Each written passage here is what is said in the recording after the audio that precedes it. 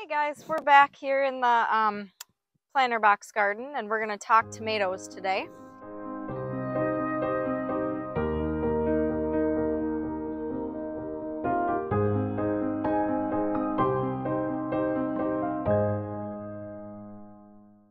So we have a few different varieties in here. Um, so I'm going to share with you a few things that worked out awesome and a few things that did not work out so great and what I learned from them. So then hopefully you don't make the same mistakes.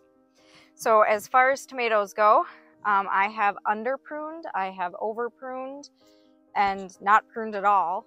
And what I do find um, so far is pruning if you stay up on it, it's so much easier and you get a better yield of your tomatoes. Um, this year I did over prune just a little bit, but I don't think it's actually going to be a problem. I feel like we're still getting plenty of fruit from it, um, more so than I have in the past. When I've under pruned, I've kind of done it because I've been afraid of cutting off the flowers and stuff and then not getting as many tomatoes as I want. Um, but as I've learned is if you keep up on the pruning and you do a little overboard, you actually get a better yield because it just concentrates more on the fruit itself, that being the tomato, and they get bigger and they get more flavorful and you still get a ton of them. So I wouldn't be too afraid of pruning. The years that I didn't prune enough, honestly, I didn't get nearly as many as tomatoes as I do now. And it was hard to find them and I feel like we had more bug problems at that point because there was more leaves for them to hide on and I couldn't find them so we had more infestations so when I over prune them I don't feel like there is nearly as many bug issues that we've had in the past so as far as tomatoes I would keep up on the pruning another thing I've learned with them is not to overwater them they really don't need as much water as other fruits and vegetables um, when they get overwatered, they tend to split, which is not a good thing because then you can't eat them. They're just junk.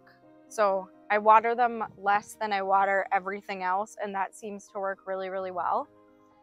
Uh, and also, you don't need a hundred plants. The first year we did this, I think we had, oh man, like 30 tomato plants. And that was before we had a YouTube channel, so I don't have any video of that. But we grew them in the field then, and we had like 20, 30 plants and it just became too much work. And what I found is about 10, 12 plants for us works really good and you get still a really high yield for it. It's a lot less maintenance. Um, overall, tomatoes are pretty easy to grow. I do have some favorite varieties. Cherry tomatoes for me have been the easiest and we use them a lot in like salads and things like that. So I do recommend doing a cherry tomato. We've never really had problems with them. They've always been really good. The one variety we have struggled with is um, Roma. I don't know why. I mean, it grows fine, but that one seems to attract more bugs than the other ones for whatever reason. Uh, but I have learned, like I said, if you keep up on the pruning with that, the bugs aren't nearly as bad, and then you get a way better yield. Um, we only have three tomato plants here, but follow me over to the greenhouse number one.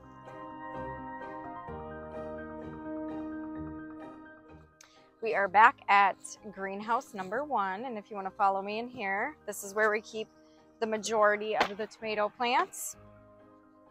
We have quite a few varieties in here, and like I said, um, pruning this year has been key. Here's one that I pruned quite a bit, and you can see how much more fruit we're getting and how much bigger they're getting too. I mean, these are huge and they're growing really great. Um, we are, I haven't been watering them nearly as much as I had in years past. So again, they're growing and doing better. Tomatoes really don't need as much as um, other plants, which was something that I learned because I kind of overwatered them previously. And these are aroma ones. These are the ones that we have in the past had issues with worms getting in there. And um, I think with pruning more, it's keeping the bugs away. They're not in there. Another thing we've lucked out with this year too is we've had a lot of like ladybugs, which eat kind of the bad bugs. If you attract the beneficial bugs, then they keep the bad bugs at bay. So that's another thing we've learned. Um, tomato cages too, pushing them in the ground as deep as they need to go so they are able to support the plant has been a huge thing. I used to kind of just set them in, which sounds completely idiotic and truthfully it was. But you really got to get them down kind of like this one where it's like almost the bottom ring is almost all the way in like touching the ground.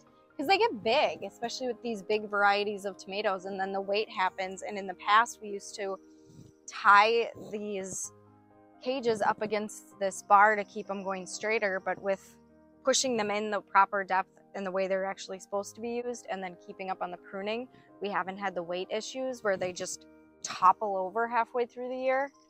That's probably one of the biggest learning curves we've had especially in the greenhouses is just keeping them pruned so they don't get too heavy and pushing the cages in properly so they don't get too heavy and tip over. Because in years past, even in the greenhouses, when it was not windy, eh, you'd come in here and they'd just be toppled over and then you lose so much because they get damaged hitting the ground. So just making sure that they're properly supported either by a cage or some people do like a pole and a string and tie them up but just getting ahead of that before you have problems where they get heavy and topple over. That's been really good big change we've made around here. And like I said, with the cherry tomatoes, which we have a few back through here, um, pruning again, just you get so much better fruit. And they're just everywhere and then they grow really great and you don't get that um, weight in there knocking everything over.